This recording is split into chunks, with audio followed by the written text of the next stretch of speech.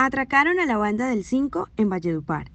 Seis hombres armados en tres motos atracaron a los integrantes de la banda del 5, que realizaban ensayos en uno de los estudios en el barrio Panamá, al sur de Valledupar.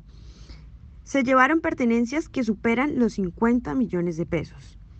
El hecho ocurrió en la tarde de hoy, cuando los delincuentes entraron a una de las cabinas y les quitaron a los músicos celulares, dineros en efectivo, pertenencias y algunos equipos.